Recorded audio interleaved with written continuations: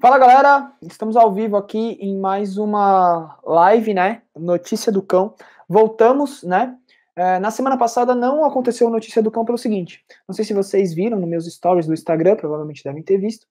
Eu acabei indo viajar e o local onde eu tava era um sítio, uma chácara, não sei como é que a gente pode chamar lá.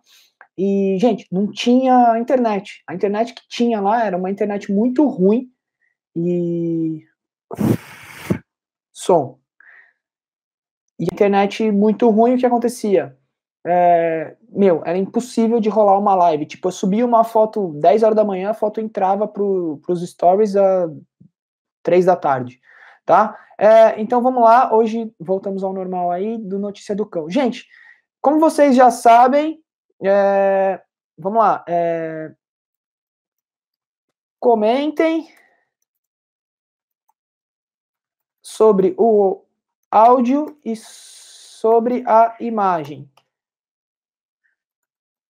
Curtam. Tá? Então, se o áudio estiver bom, se a imagem estiver boa, dá uma comentada aí, preciso saber. É, na verdade, curtem, né? Curtam. Curtam se o áudio e a imagem estiver ok para todos. Ixi, peraí, que as gatas estão brigando aqui. Bom, foi mal, galera. Vocês acham que com a gente não acontece? Com a gente também acontece. Elas estavam brigando aqui, as duas. Depois a Anne faz lá o que tem que fazer, né? É, essa parte de gato aí já não manjo, não. Tá? Então vamos lá, vamos voltar ao que interessa pra gente aqui. Ah, então o Roger falou que o áudio tá bom e o e a imagem tá beleza, então show de bola, tranquilo. É, vamos lá. Ah, gente, uma outra coisa. O pessoal tá me pedindo, na verdade todo mundo me pediu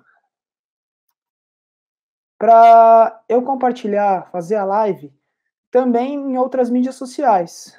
Não é o que eu o que eu queria, mas eu vou fazer um teste aqui hoje, só para ver se rola, fazer a live pelo, face, pelo YouTube e Facebook. Se rolar, beleza, tá? É, se não rolar, infelizmente, não vou, não vou conseguir, tá bom? Mas eu vou, eu tô entrando aqui no meu Facebook para fazer essa live também por lá, caso tenha seguidores do Facebook. Bom, ah, é, antes de mais nada, ih, peraí, deixa eu colocar a live, a live, a reportagem para vocês aqui é uma reportagem da National Geographic e quem me mandou foi uma seguidora, agora não me lembro quem foi, tá? Então dá uma olhada aí, é, a reportagem da National Geographic é a reportagem que eu vou abordar hoje, tá bom? E se tiver alunos MCI na área, coloquem a nossa hashtag, que é Impacto MCI. Beleza?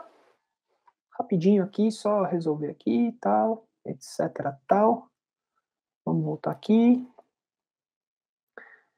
É, eu entrei um pouquinho antes para a gente, para alinhar tudo isso aqui, então tô segurando ainda um pouquinho. Vamos ver aqui se eu consigo fazer com duas câmeras. Ah, vai rolar aqui com duas câmeras. Vai rolar aqui também. Som, beleza. É, tá um pouco torto aqui, mas vamos que vamos. É, vamos lá, iniciar transmissão. Ok. Beleza, então estamos ao vivo agora em duas plataformas, no Facebook e no YouTube. Facebook aqui, YouTube aqui embaixo, tá? É, galera do Facebook, me mandem mensagem aí pra gente ver como é que tá o áudio. E agora vocês também têm acesso à notícia do cão. A notícia é a que tá aqui do lado, tá bom?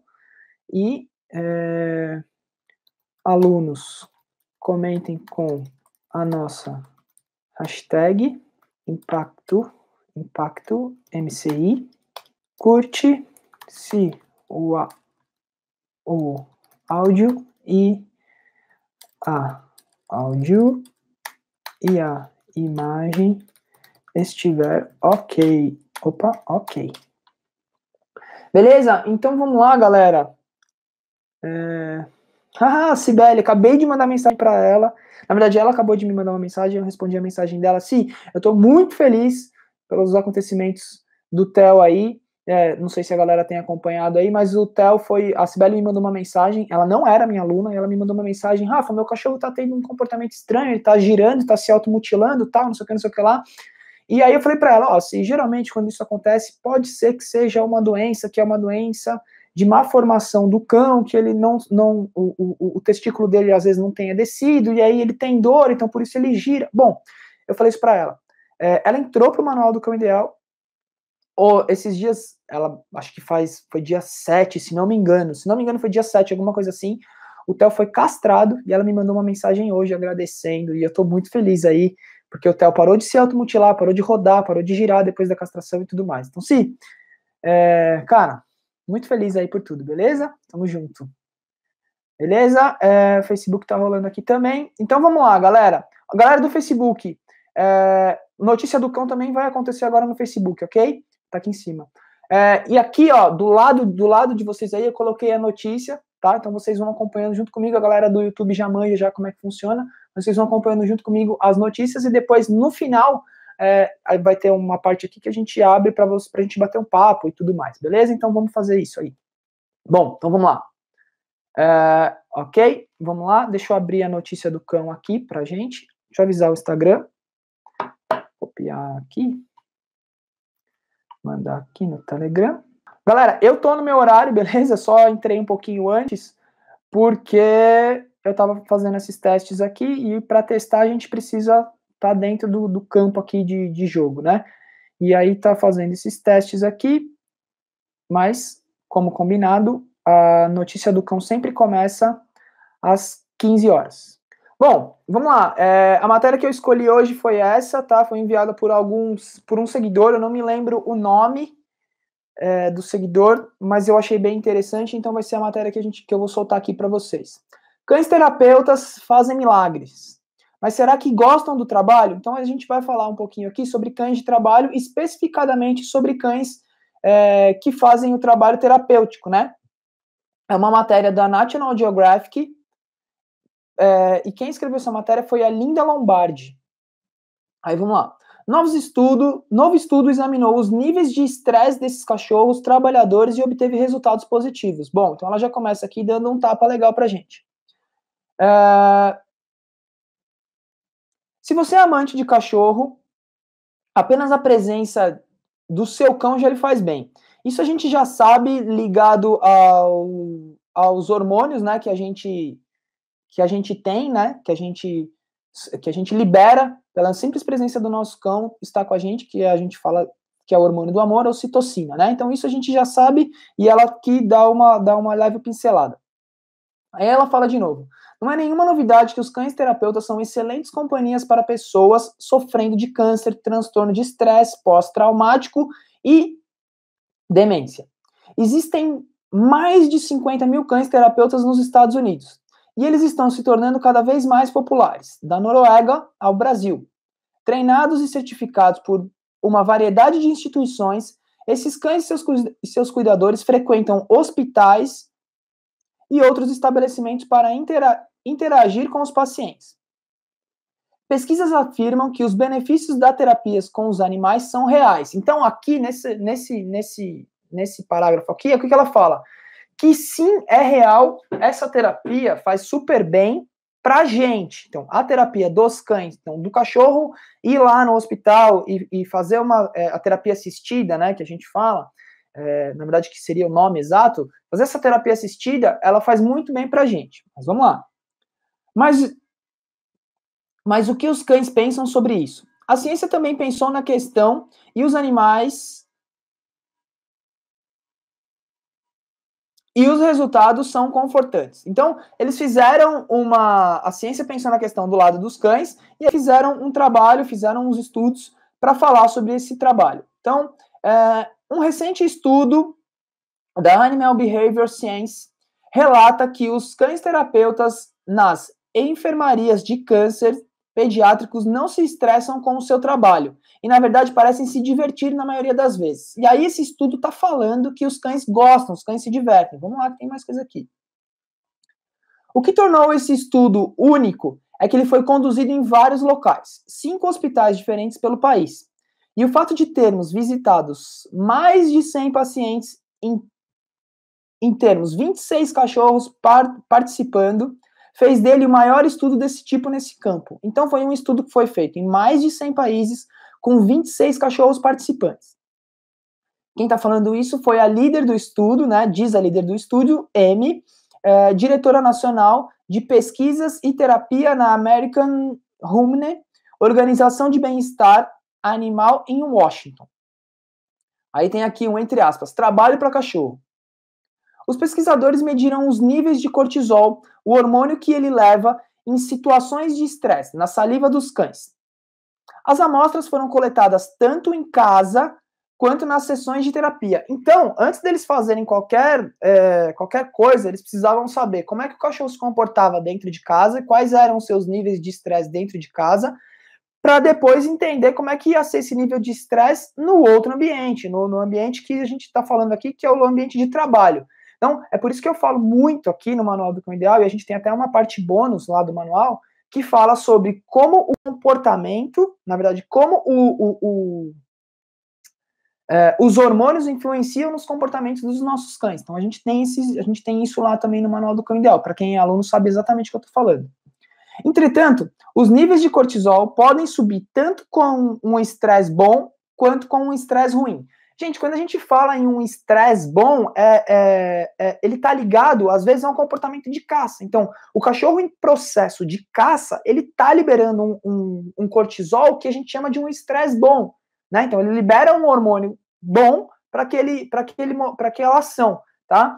É, vamos lá. Suponha que o cachorro adore brincar de bola. E quando a bola é lançada, ele começa a perseguir. Olha lá o que eu estou falando, o comportamento de caça. Quando a bola é lançada, ele começa a persegui-la. Isso elevaria os níveis de cortisol de forma positiva. Exatamente. Ele entra num processo de cortisol bom nesses, nesses momentos, ok? Uh, disse a, a líder do estudo, a Amy, tá bom? A equipe filmou e analisou o comportamento de 26 cães em três categorias: ações amigáveis, como se aproximar de uma pessoa ou brincar, estresse moderado, como lamber e se sacudir, e estresse elevado, como chorar. Tá? Os cientistas não encontraram nenhuma diferença entre os níveis de cortisol em casa e no hospital. Uma evidência de que os cães terapeutas não estavam estressados. Então, o que, que ela está falando aqui? Não teve diferença entre um cão de trabalho e um cão dentro da sua própria casa tornando o trabalho divertido. A descoberta é consciente, desculpa, consistente com pesquisas anteriores de acordo com Lisa Maria Glenk, autora de uma revisão de 2017 na leitura sobre o bem-estar dos cães terapeutas. O bem conduzido estudo é válido, é valioso pelo seu nível de detalhes. Estudos anteriores forneciam informações limitadas ou nenhuma informação durante as sessões de terapia, o que tornava difícil identificar o que exatamente causa estresse nos cachorros. Diz Glenk, da Universidade de Medicina Veterinária de Viena. Então, é, os, estudos, os estudos que passaram, é, eles não tinham essa exatidão que, dos estudos que foram feitos agora. Então, o que demonstra aí que era uma falha, né? O estudo foi feito meio que pela metade. A outra questão é: se os cães terapeutas realmente gostam do seu trabalho, ela diz. E o novo estudo sobre o câncer pediátrico dá algumas pistas, porque o seu cão come. Co... Não, aí entra uma outra coisa aqui. Nada a ver. Porque o seu cão come cocô e outros hábitos estranhos. Ó, oh, se alguém tiver alguma coisa aqui para pesquisar, dá uma pesquisada aqui nessa matéria aqui, mas não era isso aqui. Então vamos de novo. A outra questão é: se os cães terapeutas realmente gostam do seu trabalho, e ela diz, e o novo estudo sobre o câncer pediátrico dá algumas pistas. Por exemplo, os cães pareciam mais felizes durante algumas atividades do que em outras. Uma criança conversando ou brincando com seus brinquedos gerava mais respostas amigáveis do que quando uma criança escovava ou desenhava. Então, ah, olha lá. Gente, para quem tem criança em casa aí, é, o, que, o, que o, o que o estudo está falando é que para a criança, para quem tem criança e não tem cachorro, olha que legal. A criança ela se sente mais legal, ela se sente melhor, se sente mais feliz durante atividades é, do que simplesmente só estar lá é, é, brincando ou desenhando, tá bom? Olhando para os resultados, é seguro dizer que alguma, algumas atividades são mais divertidas para o cachorro. Essa é uma boa informação para os criadores. Eles podem direcionar as atividades para as quais os cães gostem mais. Pô, isso é fato, isso é básico, tipo, todo mundo sabe disso. Aí ela fala aqui, encontrando o cão ideal. Gente, é, o legal dessa pesquisa aqui é que é o seguinte: uma das minhas alunas do Manual do Cão Ideal, o nome dela é Flávia, ela, ela teve um cachorro. Eu, eu viro e mexo falo dela porque ela é um baita exemplo. Ela teve um cachorro e o cachorro dela faleceu, e depois do, do falecimento do cachorro dela, ela entrou pro Manual do Cão Ideal. E logo que ela entrou, ela falou que tinha esse sonho do cachorro dela ser um cão terapeuta. Ela adotou um cachorro, um labrador, o nome dele é Joca, e hoje ela já tá fazendo esse trabalho com ele. E aí ela sempre me perguntava, Rafa, qual é o cachorro ideal para fazer isso? E aqui tem uma coisa que é bem legal que eu posso passar para vocês caso vocês tenham a mesma coisa que ela, tá? Encontrar o cão ideal requer uma observação minuciosa. Mesmo que os cães pareçam inocentes às vezes, o estudo mostrou que os cachorros que apresentam mais sinais de estresse também mostravam mais sinais amigáveis. Então, aquele cachorro que às vezes é o mais amigo é o que, se, é o que pode se estressar mais facilmente. O que sugere que alguns cães são mais transparentes em relação aos seus sentimentos. Ok. Como em qualquer outro trabalho, é importante encontrar os candidatos certos. Muitas pessoas querem transformar seus cachorros em cães terapeutas, mas isso não significa que ele seja apto ao trabalho. Isso era uma das coisas que eu sempre falava para ela, ó, depende do cachorro, você não vai conseguir, depende do cachorro, você não vai conseguir. Então ela foi atrás de um perfil de um cão para que ela conseguisse. Ela conseguiu um labrador, que já é um cão que tem uma probabilidade de ser um cão terapeuta, conseguir fazer esse trabalho. Então ela foi encaixando e foi moldando tudo isso. E não que ela conseguiu logo de cara, ela teve que passar por um processo também. Tá? Os treinadores e certificadores, assim como os donos, precisam procurar por entusiasmo, não apenas tolerância. Então o cachorro tem que ter, além de tolerância, ele tem que ser um cão entusiasmado, que era tudo que ela tinha no cão dela, que era tudo que ela tem no cachorro dela. O cachorro solicita atenção ou precisa ser estimulado a interagir? Ela pergunta, né? É preciso que seja uma interação benéfica, mútua, quando eles estão com o cliente. É realmente importante que o cachorro goste do seu trabalho. E aqui é isso. A matéria é isso. Bom, gente, a matéria é essa. Seu cachorro prefere brincar com outras. Aí depois tem outras coisas aqui.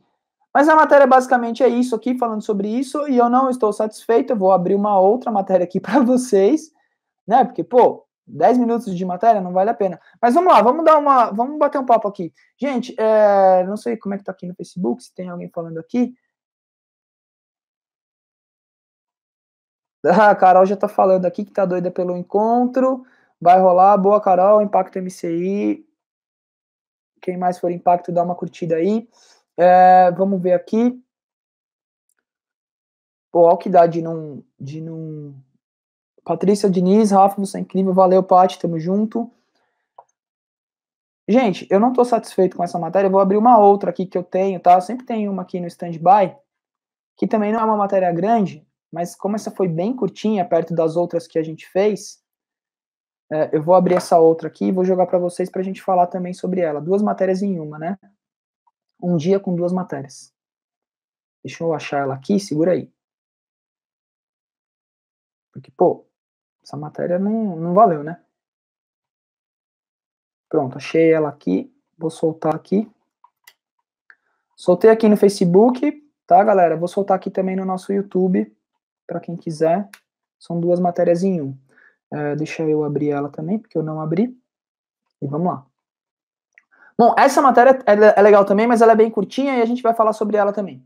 Antes de dormir, o seu cachorro também fica preocupado com os problemas do dia. Então vamos lá, se você achava que era só você que deitava na cama e se preocupava, não. Mais uma matéria aqui para falar sobre isso, tá? Essa é uma matéria do Histórias com Valor, e acho que aqui no final tem o autor dela. É, é uma fonte. Ah, tá. Então essa matéria veio da revista Galileu. Legal, ó. É uma matéria bem curtinha, vamos lá nela aqui rapidinho. Pesquisadores húngaros afirmam que os cachorros ficam pensando em seus problemas antes de dormir. A equipe tam... a equipe também pode observar que as dificuldades emocionais dos animais resultam em um sono menos qualitativo. Vamos lá. 16 cães de diferentes raças foram analisados pela equipe que, com a ajuda dos donos, os submeteu a acontecimentos bons e ruins. Uma experiência positiva, por exemplo, era algo que o cachorro gostava, como ser acariciado ou se envolver em brincadeiras. Já as negativas incluíram estar preso em um cômodo, olha lá, por um período de tempo, enquanto era ignorado pelo seu dono, ou ter um pesquisador olhando diretamente em seus olhos. Então, ó, gente, isso aqui é, é natural. Então, os cachorros gostam, pesquisas, coisas positivas, interação com o dono, é, ser acariciado, que é fazer carinho, e brincadeira com o cachorro. Isso aqui é natural, a gente sabe disso. E aqui, isso aqui, ele pode entrar até, ó, já coisas negativas, ó. Ele entra até como com que, o, o que a gente chama de punição negativa, ó. Vamos lá. Inclui ficar preso, que seria uma punição negativa, então tirar o cachorro, ficar preso em um cômodo por um período ou tempo enquanto era ignorado, ser ignorado entra também como uma punição negativa. O cachorro, a pior coisa para um, um cachorro é ele ser ignorado, tá? Então ele pode ele vai receber isso aí, uma punição negativa, e é, ter esse, esse olho no olho. Esse olho no olho diretamente é, é, também não é legal, tá? Todos os cães foram equipados com sensores e depois de vivenciarem suas experiências positivas ou negativas, foram autorizados a ir a um local designado para dormir. Os especialistas notaram que os pets estressados foram dormir aproximadamente duas horas duas vezes mais rápido que os cães relaxados. Um comportamento que já registrado antes. Além disso, os cachorros que passaram por experiências negativas gastavam em média 20 minutos a menos dormindo profundamente. Isso não quer dizer que eles não dormiram menos, mas que a qualidade do sono dos animais estressados foi pior. Então, é, se o seu cachorro passa por comportamentos ruins, por interações negativas durante o dia, ele tam, isso também reverte no seu sono. Então, uma matéria acaba que vai fazer, vai valer, vai valer, vai valer, vai integrar com a outra quando a gente fala em níveis de cortisol, é, em níveis de estresse, que é o que falou da outra matéria, né? O nível do que o cortisol é, transmite para o cachorro, o nível que o, que o cachorro tem de cortisol durante uma interação é, com um paciente, né, num, num, num, trabalho, e o nível desse, desse cortisol que esse cachorro tem por ele passar por experiências negativas durante o seu dia. Tá? Vamos lá. É, esse resultado fornece a primeira evidência direta de que os estímulos emocionais afetam a fisiologia do sono subsequente em cães. Escreveram os estudos em artigos publicados sobre o assunto. A descoberta de que os tratamentos emocionais breves influenciam a macroestrutura do sono também surge que a pesquisa do sono poderia ser implementada de maneira útil no campo do bem-estar canino. Então, gente, o que, que eles resumem aqui é que é o seguinte: quanto mais interações positivas o seu cão tem durante o dia, então o que, que seriam mais interações positivas? É, quanto mais você treina, quanto mais seu cachorro passa por coisas legais, quanto mais o seu cachorro tem brincadeiras na sua casa, quanto mais você gera estímulos positivos para o seu cão, maior vai ser a maior vai ser a, a, qualidade do sono, melhor vai ser a qualidade do sono dele. E a mesma coisa acontece quando o seu cachorro e, e, e, a, e a coisa ruim acontece quando o seu cachorro não tem essa essa qualidade no sono. Na verdade, quando ele não passa por essas experiências positivas durante o dia, ele acaba tendo é, uma qualidade do sono pior. Isso, a mesma coisa que acontece com a gente, acontece com os nossos cães. É natural, gente. E nada de errado com isso. Por quê? Às vezes, que nem no, no, no em uma matéria, é, ele fala que é, o cachorro passa por um estresse positivo, que seria um estresse de caça, né? É, nessa outra matéria, ele fala que passar por um estresse é, um estresse negativo vai gerar o cão um pior sono, um sono pior. Tá? Então, as duas matérias, uma, uma fala muito bem com a outra, uma encaixa muito bem com a outra. Beleza? É, gente, como eu, eu, eu gosto de. Eu sempre faço as coisas meio me pegando desprevenido, tá? Então, eu não queria ter lido a matéria para depois vir falar com vocês, porque parece que é um copy-paste, sabe? Então, eu não gosto de fazer isso, e até foi por isso que essas matérias foram curtinhas, tá? Mas caso vocês tenham alguma coisa para falar aqui, para comentar comigo, para a gente bater um papinho, eu estou disponível aqui, vamos que vamos, tá? Caso não, eu vou fazer diferente na semana que vem. Me mandem matérias, né? Na semana que vem me mandem matérias para vocês, para a gente interagir mais aqui, para a gente falar mais é, sobre isso, sobre as matérias, tá? E eu vou dar uma lida antes para não acontecer isso de serem matérias muito pequenas e tipo bater o olho e já ler e já finalizar, tá? Vamos lá, se vocês tiverem alguma coisa para falar, eu estou aqui à disposição de vocês, galera. É, beleza, tamo junto, é isso. Vamos lá, deixa eu abrir aqui de novo. Bom, gente, o seguinte, é, então, vamos lá, é, vamos lá. Para quem... Eu vou ficando por aqui, beleza? E a gente se vê na próxima quinta-feira. Na verdade, para quem ainda não acompanhou, essa semana, na verdade, segunda-feira, vai ter é, eu vou liberar para vocês três aulas online e gratuitas, tá? Semana do comportamento canino, pessoal do Facebook. Tô acabando de colocar aqui no para você se inscrever. São três aulas online e gratuitas e a semana do comportamento canino. Na primeira aula eu falo quais os principais erros que os donos cometem ao, ao terem cães. Na segunda aula a gente ativa a cognição dos cães e na terceira aula a gente vai resolver um dos problemas mais relatados nos comentários, beleza? Então se você ainda não se inscreveu para participar da Semana do Comportamento Canino. É, fica aí, se inscreve, a Paty, Diniz aqui falou que tá louca para participar. Paty, seja muito bem-vinda, espero que você já tenha se inscrito. Não perde segunda-feira, vai ser todo, toda a comunicação é feita via e-mail, beleza? Na terça-feira, é, a gente tem às 10 horas da manhã o, o passeio guiado, tá? Para quem ainda não ouve, para quem ainda não segue o, podcast, podcast passeio guiado, todas as terças-feiras, às 10 horas da manhã. Vai ter, vai ter mais um episódio. O último episódio foi muito legal. Eu gravei na estrada, foi show de bola. Veio uma ideia e eu fui falando e foi super legal, tá? Já rendeu pra caramba.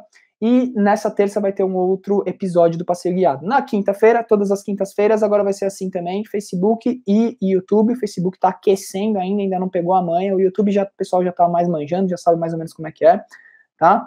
É, Notícia do Cão. E todos os dias, às 9 horas da noite, a gente tem as pequenas pílulas que eu solto para vocês, com conteúdo de qualidade, conteúdo que eu retiro das aulas, conteúdo que eu retiro de palestra, conteúdo que eu retiro de bate-papos, assim como esse aqui que a gente vai fazendo e tudo mais. Beleza? Então eu fico por aqui e a gente se vê nos stories do Instagram, do Facebook e na segunda-feira com a Semana do Comportamento Canino. Beleza? Até a próxima e a gente se vê.